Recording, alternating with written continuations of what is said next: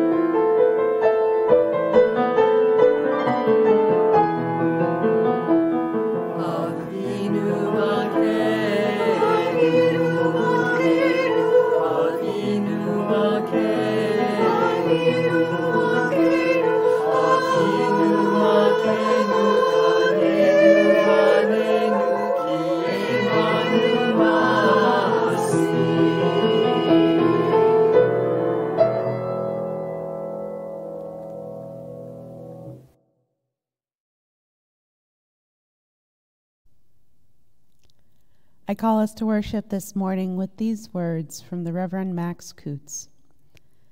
Let us give thanks for a bounty of people, for generous friends with smiles as bright as their blossoms, for feisty friends as tart as apples, for continuous friends who, like scallions and cucumbers, keep reminding us that we've had them for crotchety friends as sour as rhubarb and as indestructible, for handsome friends who are as gorgeous as eggplants and as elegant as a row of corn, and the others as plain as potatoes and as good for you. For friends as unpretentious as cabbage, as subtle as summer squash, as persistent as parsley, as endless as zucchini, and who, like parsnips, can be counted on to see you through the winter. For old friends nodding like sunflowers in the evening time. For young friends who wind around like tendrils and hold us.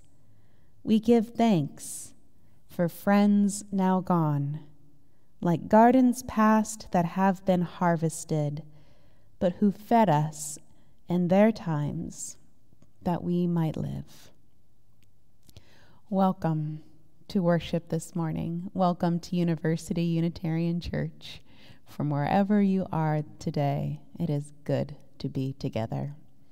Would you please join me now in singing our doxology followed by hymn number 203 All Creatures of the Earth and Sky.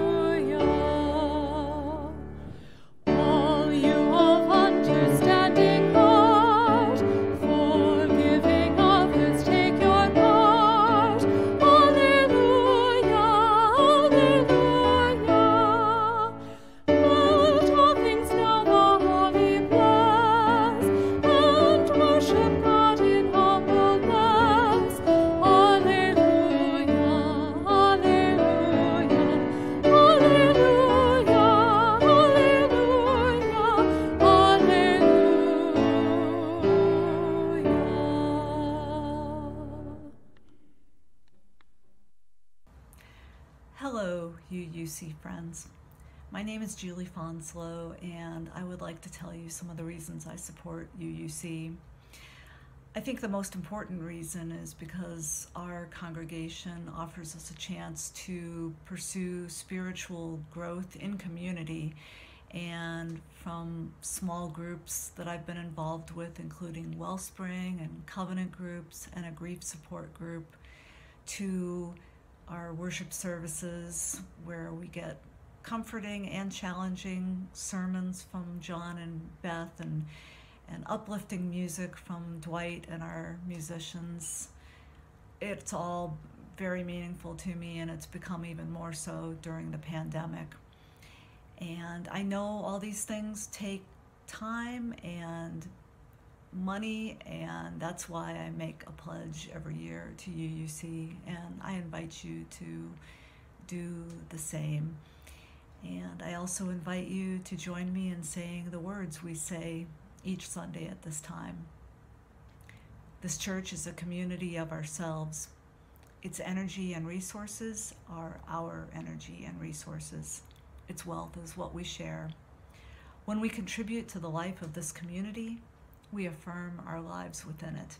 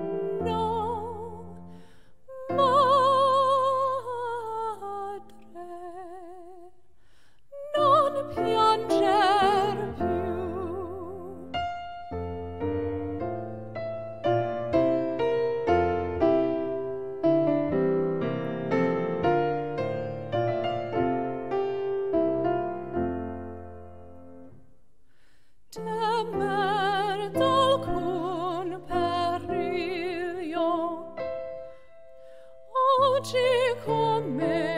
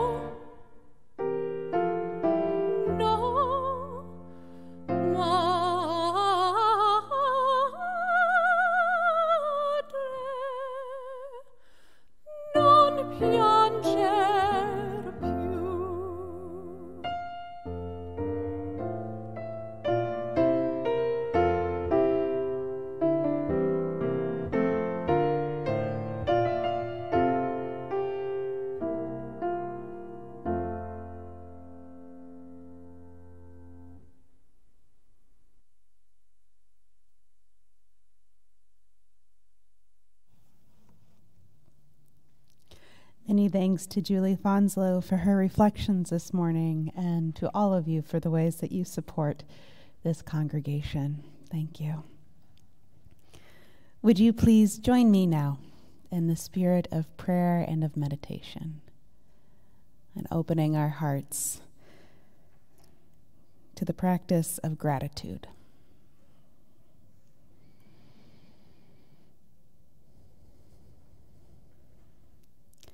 For this day and all that it holds, we give thanks. For the heart that beats, that breaks at sorrow and injustice, that breaks open to a love that is larger than ourselves. We give thanks. For a body which companions us through our days, which can both hurt and heal, connecting us to our ancestors and to the body of the earth. We give thanks. for our breath, infusing us at every moment with life. We give thanks. For the earth and her seasons, her beauty and abundance for this interdependent home. We give thanks. For family and for friends, for love and food shared, for memories jointly made. We give thanks. For strangers whose labor, love, and commitment make the world a better place. We give thanks. For forgiveness and growth, and for the chance to begin again and again in love. We give thanks. And for this religious community, made up of people carrying this liberal faith, generation to generation, we give thanks. I invite you now to add the gratitudes of your own heart and spirit in a time of shared silence.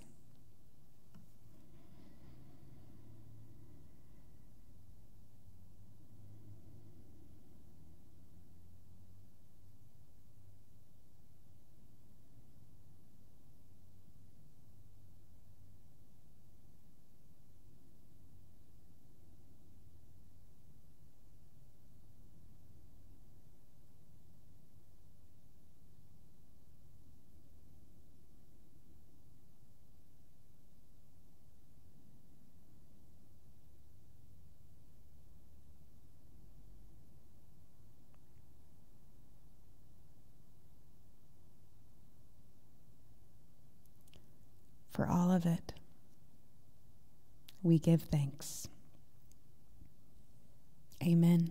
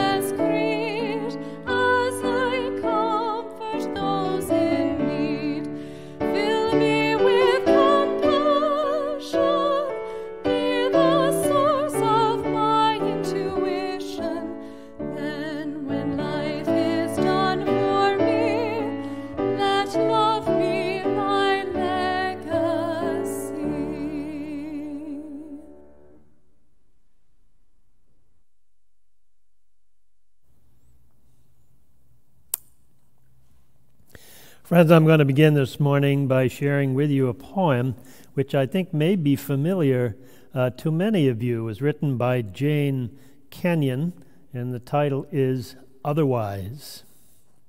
I got out of bed on two strong legs. It might have been otherwise. I ate cereal, sweet milk, ripe, flawless peach.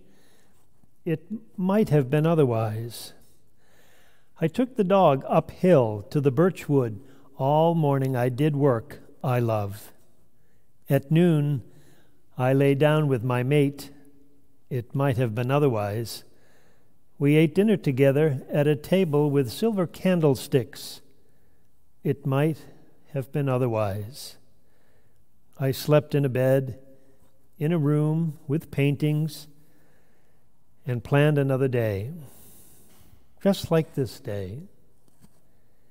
But one day, I know, it will be otherwise.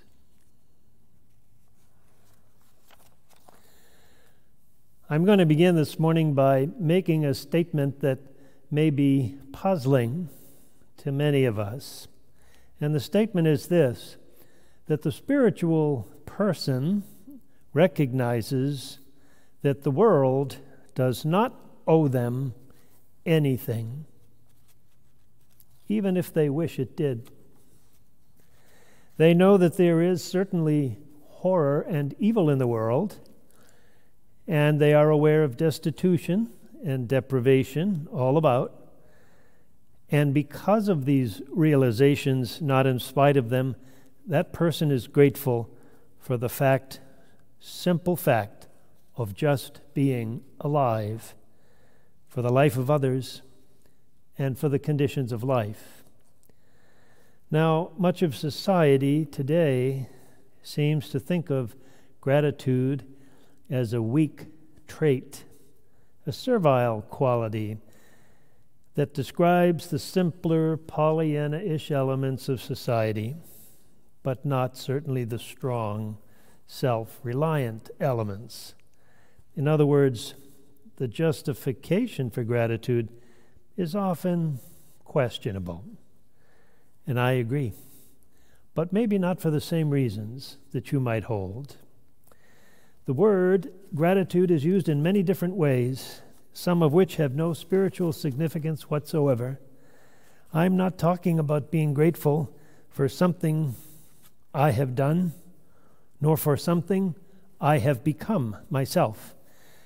I would define it rather as a feeling of wonder that I am alive and that I can experience life knowingly and appreciatively. It is an awareness of the abundance in the world of creativity. And it is the recognition that I have been given more than I deserve. Whatever satisfaction I may experience, I didn't create it. I may have paid for it, but I did not create my capacity to enjoy them. In other words, the more universal the things we are grateful for, the, the more they belong to everyone, the more spiritual is our gratitude. And conversely, the more our gratitude is for something that I and I alone possess, the less spiritual it is. And this is why spiritual people can express gratitude even in the midst of suffering and tragedy and failure because they have lost none of the universal things. Why is it so hard for us then to be grateful in this way? Well, perhaps it has to start with the fact that we think that we do things for ourselves, that what we have got, we got by ourselves. Then we have the fear that some hostile force may take these things from us. Why does evil prosper and the good lose out? Surely many of us have worked very hard for the successes we have achieved. And certainly the forces of destruction often do have the upper hand. But there is still another more powerful reason for our ingratitude. When we are in the midst of so much for which we cannot be grateful, why should we be grateful for the little we have? Well, I'm going to spend a few minutes trying to answer that question for you, and I'll share just a couple of observations. And the first is I believe that gratitude is both necessary and constructive. The ultimate validity of any value from a philosophical point of view is its necessity. In other words, the value is indispensable to sound living. Gratitude is not a luxury, but is an essential quality of mature, intelligent living. Gratitude requires that a person see the whole picture, or as much of the whole picture as is possible, both the good and the bad, both the beautiful and the ugly aspects of life. Otherwise, we would be merely half or less than whole a person. And gratitude is also a constructive value, not a destructive value. It has cumulative value. If you can be grateful for something, you will become better equipped to see it again and to see it as more than it actually is. My grandmother used to say to me that if you see goodness anywhere once, you will see it again because you have learned and developed the capacity to see goodness, maybe even where other people don't. To see it as more. So, the first observation I would share with you is that gratitude is necessary for mature, and intelligent living, and it is constructive. It's cumulative, it builds over time. Secondly, we get much more out of life than any one of us deserves. If we possessed only what we could take credit for, we may be miserable indeed. Our minds and our bodies were programmed for us before we were conscious by a creative process, we had nothing to do. All that we have been giving in the beginning of our lives has been given to us by entities, powers, forces beyond ourselves. We did nothing to deserve the gift of life. And then, once given it, it's a very long time before we become independent enough to be able to function without the support of other people and other things. I have shared with you in the last two months that my wife and I have become new grandparents on September the 8th. Little Wyatt, we babysit each week, and each time I hold him, he's only about this long, and look in his face, I think to myself, he is completely dependent on other people to hold him, to feed him, to clean him, to shelter him, to protect him. If he were left alone, he would not survive for very long. So we are born indebted already to forces bigger than ourselves, you see it's very difficult to find anything that we can really take full credit for ourselves. And that is a perfectly obvious fact. Yet we act as if we get back from life only what we put into it. Now we also put more trouble, we get more trouble than we deserve. But the point is to look at life not as if you deserve anything. So we get more than we deserve. Every one of us does. I actually think it's the profound origin of the concept of covenant that we are born indebted to powers greater than ourselves.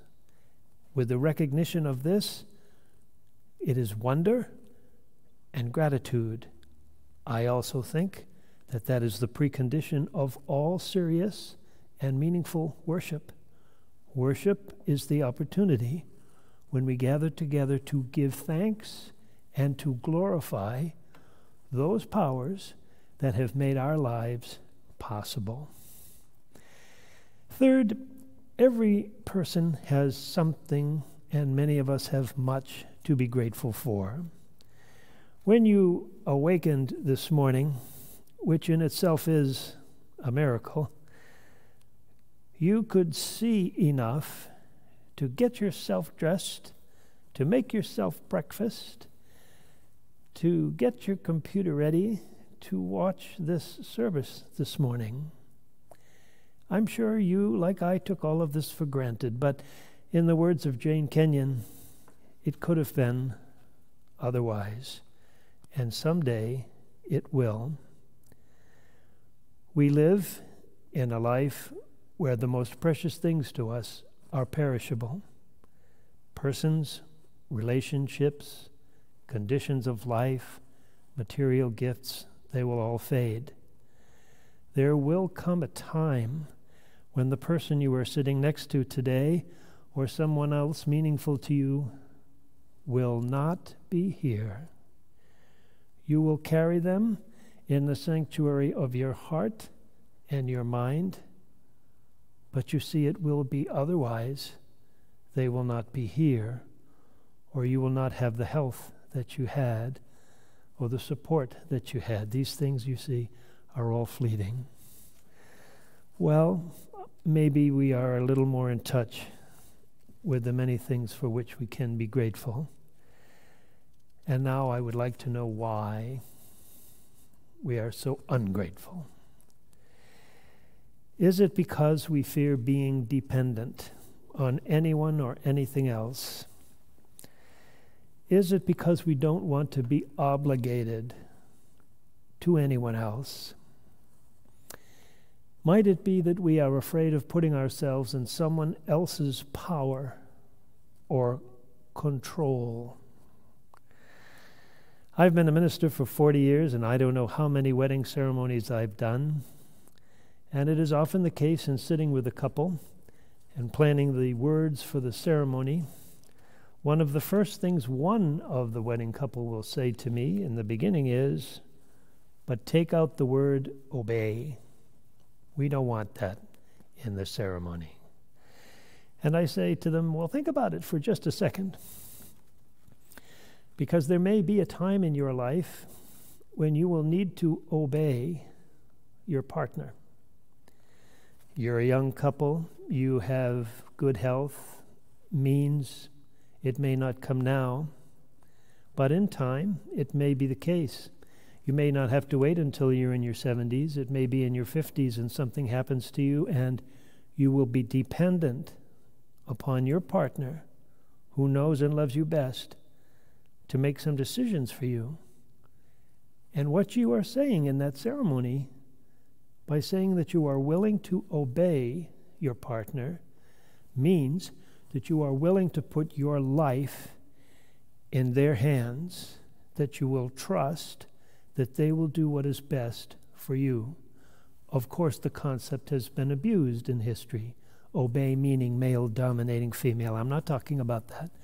I'm talking about something else. I'm talking about trust and the fact that there will be times, most likely, when you will need to obey your partner I can tell you there is nothing more wonderful in a good relationship than to have that mutual affirmation.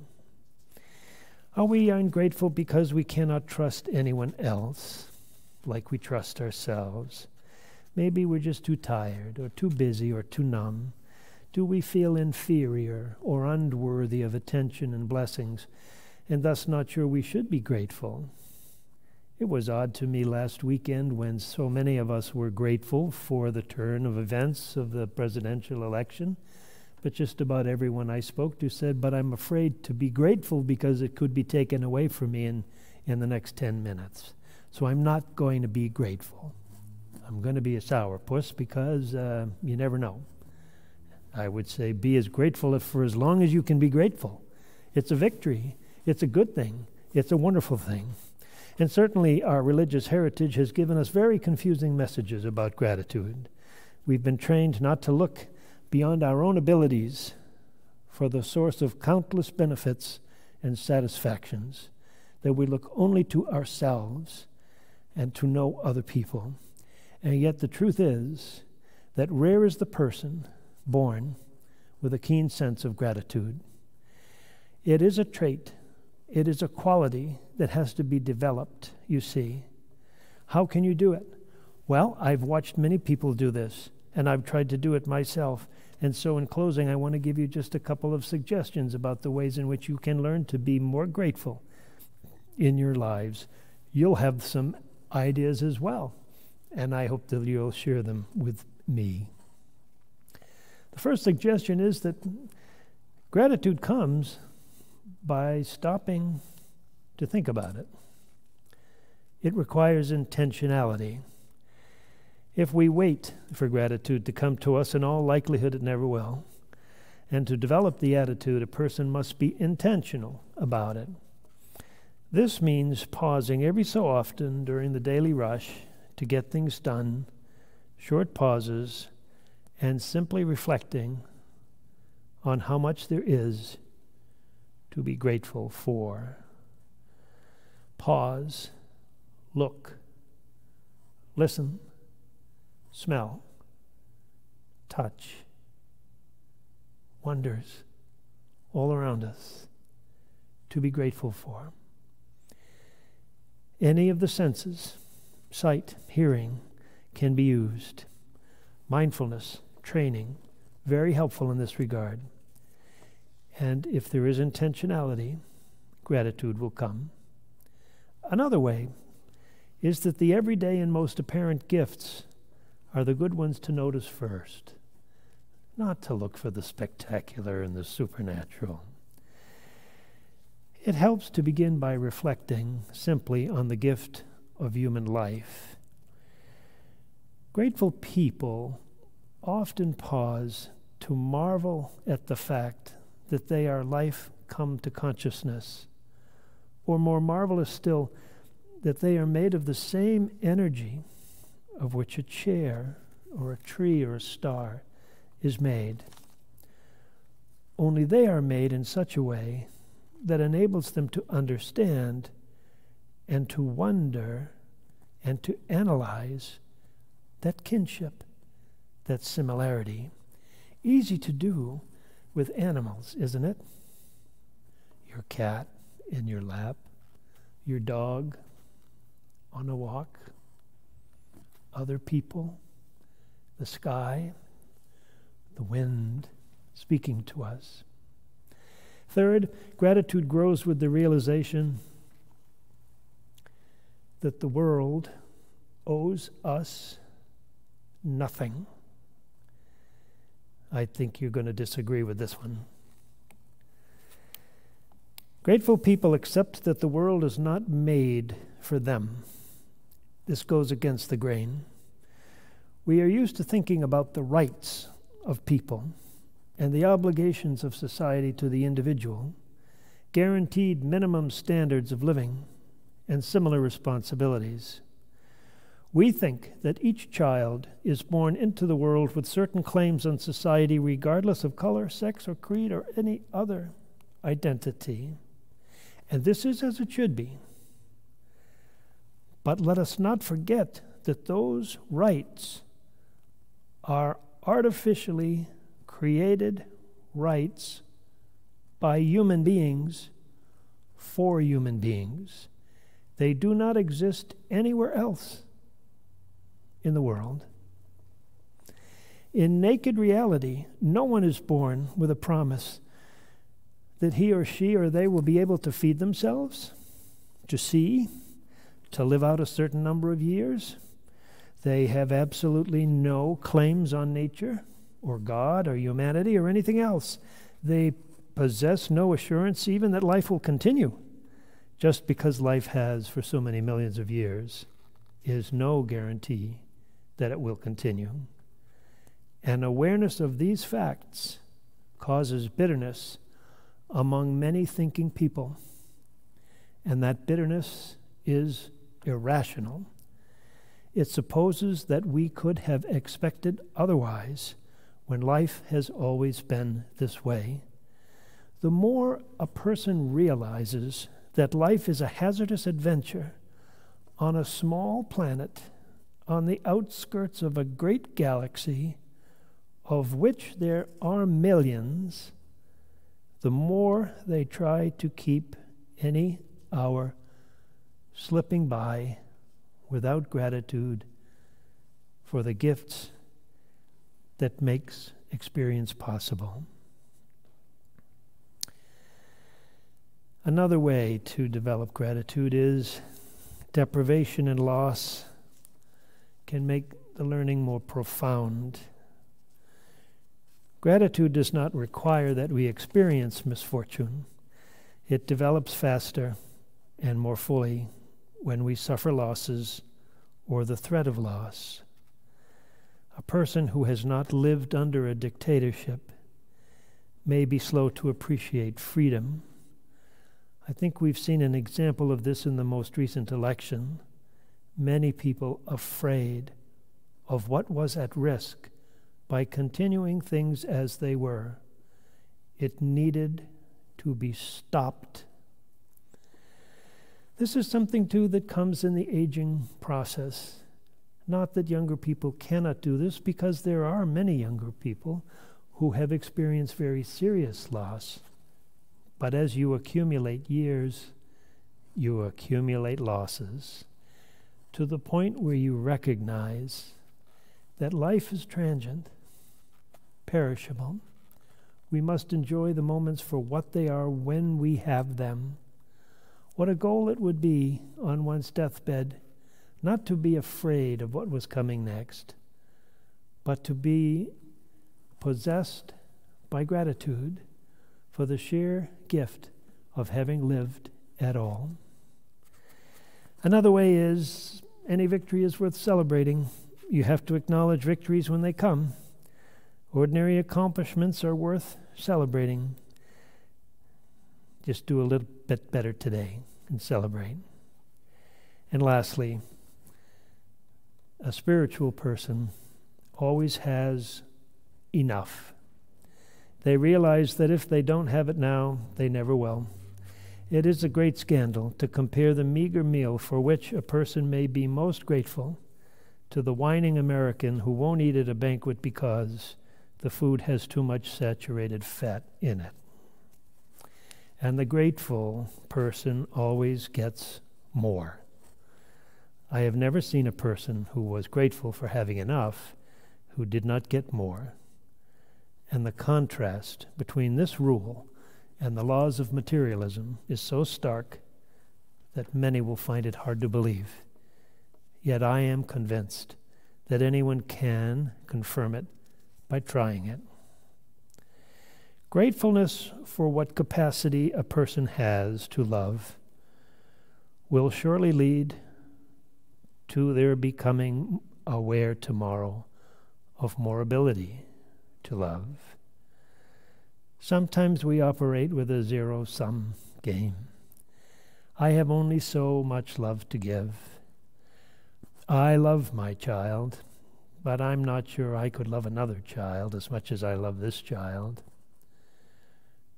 But if you are a grateful person, you will recognize upon the birth of the second child that you had more love in you than you ever could have imagined. And the reverse is true too. If you don't have it now, you won't have it later. If you see no miracles in life today, you won't see them tomorrow. We hear a lot about spirituality today. People are looking for it in all kinds of strange places. They think it has to be extraordinary or esoteric, that they need to reclaim ancient traditions that are repackaged for modern consumption. I think a lot of that's rubbish and a waste of time. To be grateful comes closer than any other quality I know of describing the truly spiritual person. It has an endlessness to it. For the last minutes of a grateful person's life are as beautiful as any other. Yes, we need to work on it. Lapse occasionally into ungratitude, but leave it behind and make it a growing edge. And celebrating the fact that a simple, ordinary life is full of miracle and mystery abounding and can be wondrous indeed. So may it be. Amen. Our closing hymn this morning is Hail the Glorious Golden City.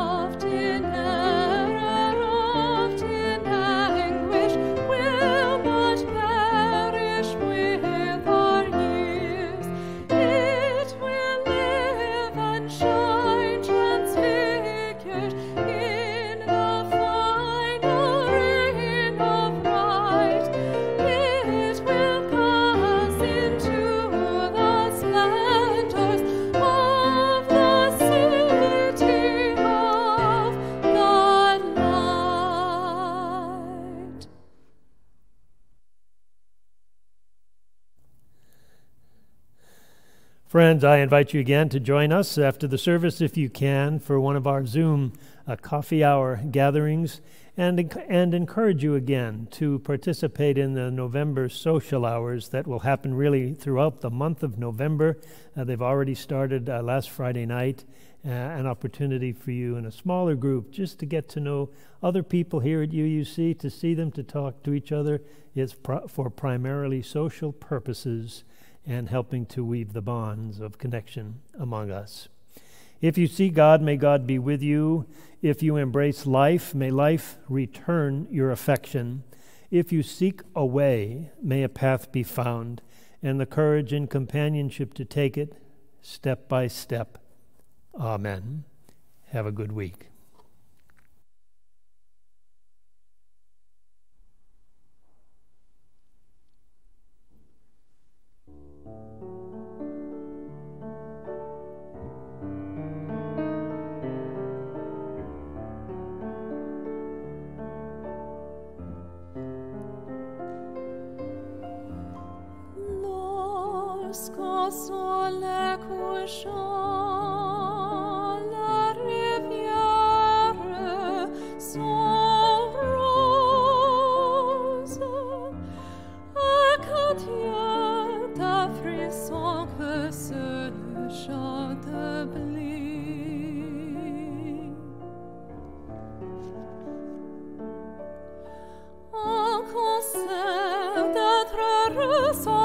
Sortir des champs